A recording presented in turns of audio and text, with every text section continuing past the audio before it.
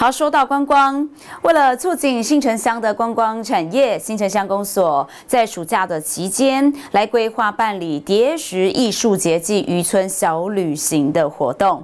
那么，也就是在暑假的时候呢，乡亲和游客来到新城乡，不仅可以享受七星潭的自然之美，同时呢，也可以认识在地特色景点。花莲县新城乡以进入花莲的第一城而得名新城。新城乡景点除了著名的七星潭之外，这里的每一条道路终点都是通往太平洋，让人可日日望着灿烂的太平洋，从日出的灿烂看到星光的透彻。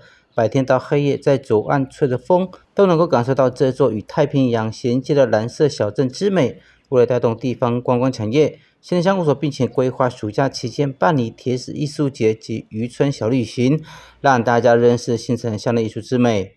呃，新城乡今年暑假有办一个慢坡叠石国际艺术节，那我们有一系列的活动，包括叠石比赛，还有渔村小旅行。那渔村小旅行从七月七号开始到八月三号，总共有十个梯次。那欢迎所有乡亲来报名参加。那叠石活动呢，在七月六号开始到八月四号，为期一个月。那也欢迎所有的乡亲来七星潭这里参观我们的国际叠石活动。新城乡和调表示，再过半个月就是暑假了，新城乡公所特别规划活动，为了就是活络地方经济。新城乡拥有天然的美丽景点，也希望大家来到新城乡来这里游玩。记者邱宏义先报道。